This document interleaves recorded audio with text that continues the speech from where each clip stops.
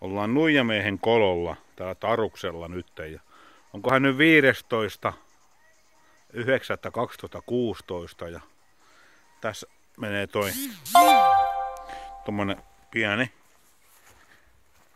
joki menee tässä ihan laavun vieressä menee. Ja auto on suurin piirtein parin sadan metrin päässä ja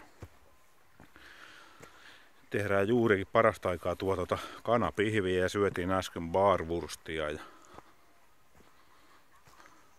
keli on aivan mahtava, varmaan vieläkin jonkun 12 lämmintä suurin piirtein. Ja huomenna, että siirrytään tonne